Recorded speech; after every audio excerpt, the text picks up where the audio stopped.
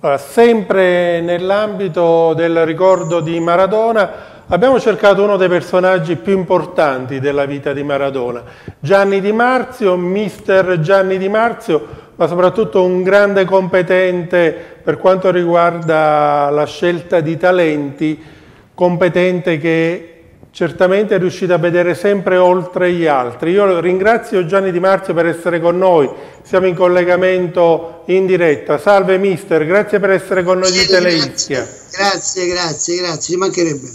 Allora, lei è molto legato alla nostra isola anche per trascorsi calcistici qui. Io so che dalla Flegrea venne a giocare con i nostri colori giallo-blu qualche anno fa. Ricordo male? No, no, ricordo bene, ma io ho giocato l'ultimo mio campionato, eh, fu proprio con l'Ischia, poi è proprio lì che mi ruppe il ginocchio e smisi di, di giocare per fare poi l'allenatore. Eh, proprio ad Ischia, il presidente Ferrandino, me lo ricordo benissimo, no, come no, eh, poi io ho degli amici a Ischia, oltre eh, Pino Taglialatela ho tanti amici, certo, allora... Ischia per me rimane sempre nell'ambito diciamo, del delle mie preferenze, del mio cuore, de, dei miei piaceri. In effetti va detto, carriera da calciatore interrotta, però subito allenatore. Io ricordo delle esperienze davvero importanti, una su tutte Pisa con Casale Mediano, se non ricordo male, un Pisa che faceva davvero bene, tant'è vero che poi dopo lei passò nelle file del Napoli qualche anno dopo, ricordo male? No, io feci un po' una serie di, di, di squadre dei dilettanti, un anno addirittura allenavo due squadre, Interpianurese e San Feliciano e vinsi il campionato con tutte e due le squadre perché si giocava nel girone cittadino e la San Feliciano nel girone eh, diciamo regionale. Alle due e mezza a Napoli invece eh, l'interografi giocavano la mattina, ma anche ne, nella Coppa Menzitieri, guarda caso, arriva in fondo al, alla, alla Coppa eh, con, con, tutte e due le squadre che si devono incontrare, ma io non potevo stare, non potevo stare su tutte e due le panchine, quindi in quel caso lì abdicai, lasciai perdere perché mi sembrava veramente una farsa poi. Detto questo, poi ho fatto un po' altre squadre, ho fatto diciamo squadre napoletane che mi sono trovato bene e poi sono andato alla, a fare i giovani dell'Internapoli dove ho vinto il primo titolo italiano il trofeo Beretti poi mi dietro la prima squadra con Chinaglia e quindi da lì poi sono partito. Chinaglia, Wilson, per... se non ricordo male. Come? Anche Wilson mi sembra faceva parte del sì, gruppo. Sì, come no, Wilson, Chinaglia, Palcini, Valle. Avevamo una squadra forte perché poi Inter Napoli voleva diventare la seconda squadra cittadina e quindi però io facevo i giovani solo quando mandarono via l'allenatore Montes eh, mi dietro la squadra non solamente a me eravamo in due Delella e Dio che tra l'altro Delella un allenatore molto molto bravo che non so perché non abbia fatto carriera ma tecnicamente e tatticamente era sicuramente da, da, da, da, Serie A ecco, tanto per aver conosciuto tantissimi allenatori in giro per il mondo questo Denella era bravissimo.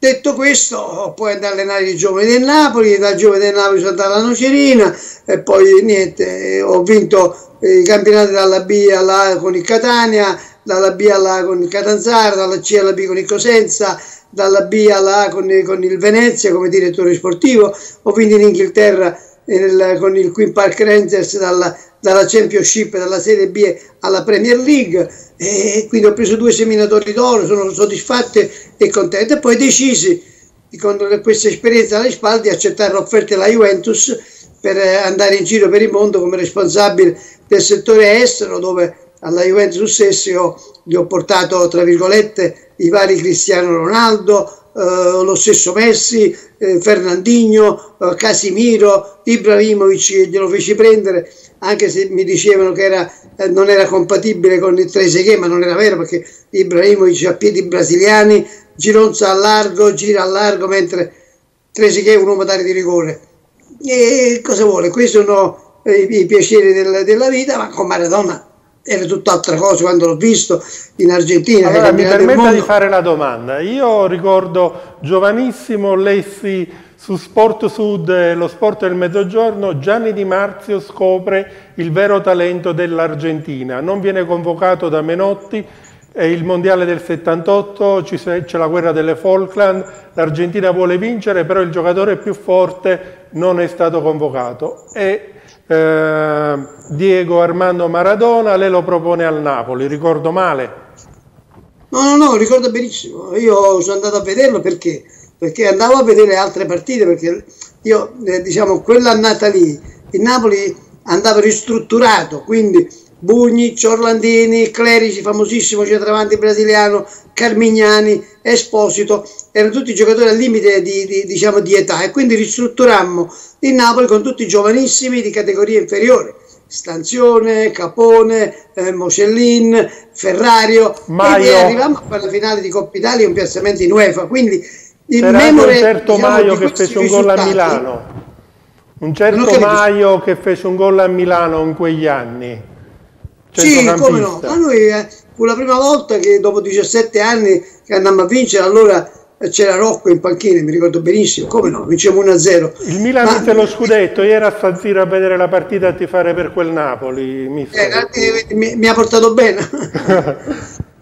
eh, quindi de, detto questo, e poi dopo, ma con Maradona era tutt'altra cosa, io Maradona era ai margini, mi capitò di avere questa soffiata di, di, un tassista, io chiamai in società, in società c'era un italiano che era trapiantato lì da 30 anni, un ingegnere calabrese di, di Aiello Calabro che era tifoso dall'alto del, del Catanzaro, quindi aveva stima e simpatia nei miei confronti e, e lo voleva anche la Juve con Sivori, quindi lui preferiva darla a me che era, era un calabrese, quindi aveva un certo diciamo, legame diciamo, affettivo nei miei confronti. Non, non si presentò alla, alla, alla, partitina, dovemmo andarla a prendere in questa favelas a Villa Fiorito, eh, un sobborgo di, di, Buenos Aires, un sobborgo molto, molto, ma molto malandato. E a me, dopo, quando, quando, io gli ho promesso che lo portavo a Napoli, che gli, gli cambiavo la vita, lui giocò io un quarto d'ora l'ho fatto uscire perché ha fatto tre magie, qualcosa di, di, speciale, che si vedeva che era una divinità del calcio, capito?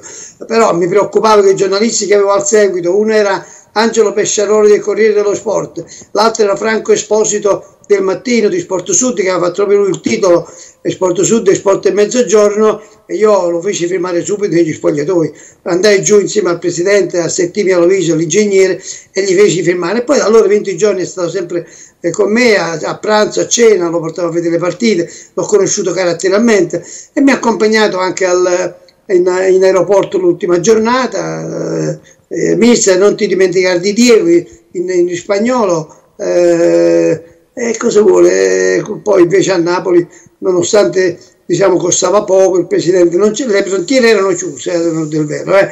Eh, però si poteva parcheggiare in Svizzera.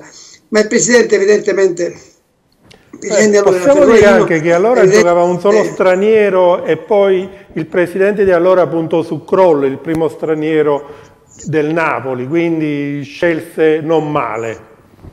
Ma non quell'anno lì, assolutamente. No, è l'80. No, no. Quell'anno lì mi comprò Castellini, Caporale, Filippi, però... Sì, eh, ma come a me, il problema era lo straniero, ricordo male, mister, che c'era solo no, no, Io dico io sicuro al 100%. No? Perché poi, perché poi l'anno successivo ero rientrato all'Argentina a maggio, avevo incominciato la preparazione, 5 partite di Coppa Italia, le ho vinte tutte e 5.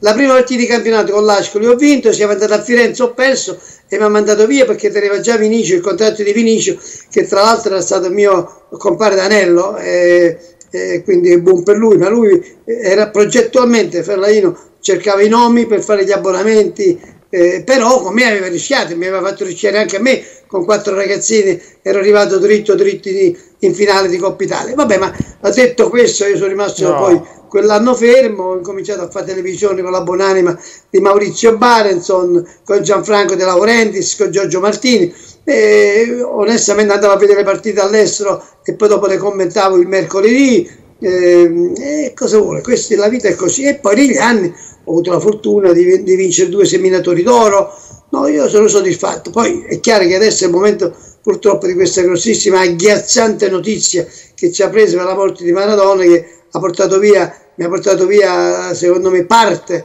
di, di me stesso perché lui era di, di, di, famiglia, era tra virgolette un secondo figlio. Ecco.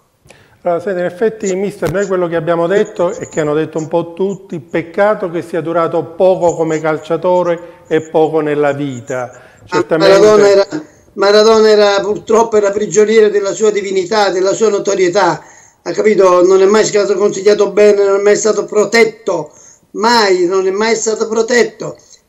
Napoli è una città pericolosa sotto questo aspetto perché c'è gente eh, bravissima, bellissima, aristocratica, gente buona di cuore e di tutto, perché come i napoletani, come gli stitani ovviamente, i capresi, sono gente di prima qualità, però purtroppo c'è una parte di gentaglia eh, che, che zavorra e quindi lì bisognava aiutarlo come guida. I, per esempio in Argentina lui si faceva guidare da un dottore che aveva una farmacia lì vicino a Vito Fiorito, un certo Carlos Trotta, e lui stava sempre lì e faceva quello che diceva eh, questo, io infatti il contatto lo tenevo con questa farmacia dall'Italia. Eh, purtroppo è così, gente eh, approfittatori, poi se lo sono venduti, lasciamo stare perché se no mi amareggia ancora di più oltre quello che, che oltre il dolore eh, del, de, della, sua, della, sua, morte. Dai. Noi consideriamolo come calciatore e poi che lui abbia voluto scegliere, eh, la, eh, abbia voluto fare la, questo tipo di vita eh, era un problema suo ma andava aiutato, andava aiutato sicuramente. Allora, mister, Maradona è stato certamente il riscatto per la Napoli calcistica, per la Napoli che voleva vincere, ma anche Napoli è stato il riscatto per Maradona che veniva da un'esperienza a Barcellona dove alla fine aveva dato tanto, però era stato quasi buttato nel cestino, un poco da tutti, perché era, no, non era stato no, considerato no. all'altezza del suo valore. No, no, questo no, lui non andava d'accordo con un dirigente, adesso mi ricordo il nome, mi pare che si chiamasse Gerard, qualcosa di quello, non mi ricordo il nome, non andava d'accordo perché questo era uno di quelli che voleva intervenire sui discorsi tecnici, no, no, Maradona a Barcellona ha fatto, ha fatto molto bene, però è chiaro che io gli avevo fatto il lavaggio mentale su Napoli, quindi come gli è capitato a Napoli, sapendo il pubblico, poi da Napoli a fare due palleggi, c'erano 80.000, allora mi ha dato subito ragione. E infatti ci sentimmo subito e mi disse, mister, in, in spagnolo ho fatto la scelta giusta, spero che qui io li, li farò vincere lo scudetto. Era un condottiero. In quel momento io ho avuto il piacere, quando mi chiamò, che quantomeno avevo avuto diciamo, diciamo, un atto d'amore verso la mia città nel fargli conoscere Maradona e forse anche un atto di competenza, perché in quel momento in Napoli a Napoli avevano bisogno di un leader, ehm, eh, avevano bisogno di, un, eh, di un'icona vincente per fronteggiare calcisticamente le squadre del nord, eh, che gli potesse dare al Napoli maggiore prestigio, eh, maggiore ruolo, eh, maggiore nobiltà calcistica. Ecco. E Maradona era un trascinatore, era, era veramente il capo. Maradona aveva, aveva, come dicono in Inghilterra, casting, aveva eh, personalità, aveva grandissima autorità, eh, in assoluto era un trascinatore. Con Maradona giocano a Napoli anche Careca, Bagni, Carnevale, Giordano, sì. tanto per fare sì. alcuni nomi. In effetti diventa l'attrattore per anche altri grandi calciatori perché si inizia a capire sì. che a Napoli si può vincere. Sì, sì, è vero, è vero. È vero, poi eh, ci sono tutti i grandi giocatori, ci mancherebbe giocatori importanti che sono stati determinanti eh, affinché Napoli vincesse lo scudetto con lui, che era eh, in effetti il capo, come l'ho detto prima, eh, grande autorità, era al di sopra di tutti. Maradona mm, le faceva le cose, eh, le cose più difficili con una facilità irrisoria, si divertiva a fare quelle cose lì, si divertiva perché faceva, era amante del gioco del calcio, gli piaceva il calcio e, faceva, e lui Basti si allenava e giocava con il pallone era a posto.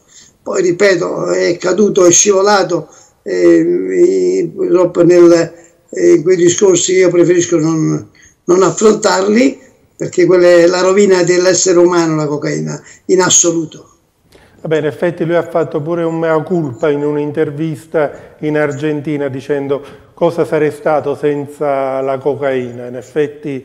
Eh, vabbè, questo è un, diciamo, è un pentimento, è una mea culpa, però tutti, tutta quella cozzaglia di gente che gli stava attorno, che si sono mangiati i soldi, eh, lui era una slot machine, dai, tirava giù i soldi, eh, chi, chi, più ne ha più ne mette. La verità è questa qua, poi ci giriamo intorno, gli portavo le donne a casa, non, non ne parliamo perché io veramente mi addoloro ancora di più più, quasi più della sua morte, perché mi sono sempre addolorato per questo io da lontano non sono, perché poi io lavoravo anch'io, facevo l'allenatore a Catania, a Cosenza, a Venezia, andavo in giro, eh, eh, non potevo stare lì a, a, fare il badante, capito? Assolutamente. Poi non, non era il mio costume farlo.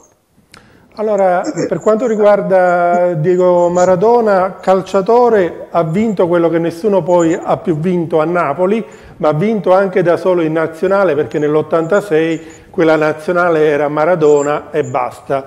Più altri giocatori, sì, c'era ehm, Baldano del Real Madrid, forse ehm, Burri, ehm, Barricocea, se non ricordo male. Eh, quello che ha vinto Maradona, naturalmente, l'ha vinto con giocatori noi manco ce li ricordiamo, mentre Pelé ha vinto con Carrincia, Gerson, Zagallo, eh, Jairzinho, con dei grandi giocatori.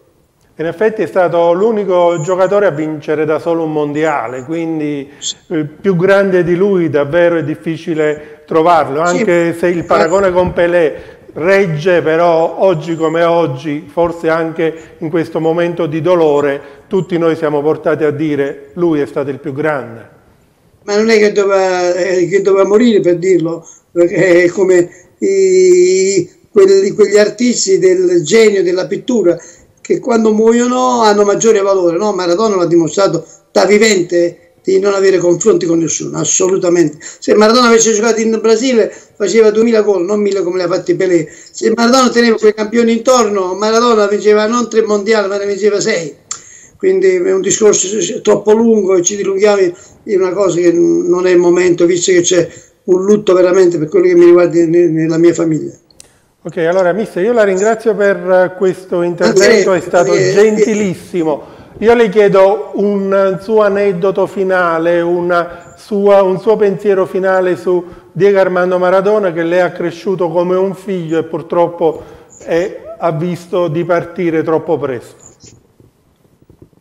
Ma l'aneddoto con Maradona ce ne stanno tantissimi, resta il fatto da parte mia il rammarico di non averlo potuto allenare, non, perché se l'avessi allenato io a Napoli sicuramente eh, lo, lo mettevo in guardia dai pericoli della città, di quel 20% che è la zavorra. Quindi sicuramente, sicuramente perché a Napoli conosco tutti, conoscevo tutto e sapevo come muoverci. Quindi eh, Maradona lo, lo, mettevo in guardia di tutto, ne, avrei parlato con la società, la società avrebbe certamente assecondato le mie idee. Vabbè. Mister, andremo al San Paolo intitolato a Diego Armando Maradona prossimamente, penso. Eh, ma penso che sia il minimo che si possa fare, il minimo assolutamente.